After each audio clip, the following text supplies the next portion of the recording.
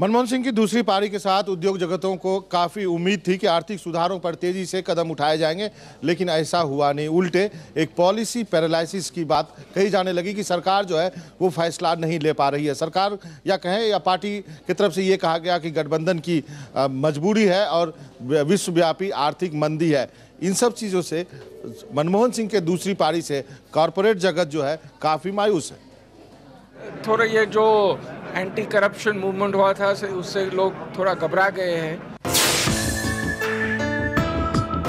ये चेंज करना चाहिए एटीट्यूड चेंज होनी चाहिए। सीएजी रिपोर्ट आ गया, ये आ गया तो कोई डिसीज़न ही नहीं ले रहा है। वो कह रहे थे, हम मीडिया से बड़े डरे हुए हैं। प्रधानमंत्री का दावा है कि आर्थिक विकास दर सात फ़ीसदी छू रही है और देश सबसे तेज़ी से तरक्की करने वाले मुल्कों में एक है।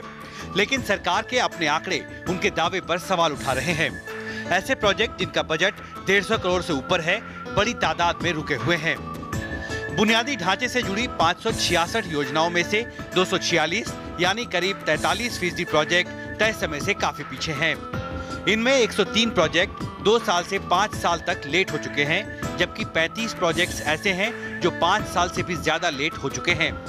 इस देरी की वजह से सरकार पर एक लाख उन्नीस हज़ार दो सौ एक करोड़ रुपए का अतिरिक्त बोझ पड़ा है। ये तो बिल्कुल सही बात है कि decision making has slowed down considerably और इसी के बजाय से the whole industry is very very concerned Bharat की कॉर्पोरेट दुनिया परेशान है उसे जिन फैसलों का लंबे समय से इंतज़ार है वो अटके पड़े हैं। सरकार डरी हुई है। बाबू फ़ाइल आगे नहीं बढ़ा रहे। मंत्री बड़े फैसले लेने से बच रहे हैं।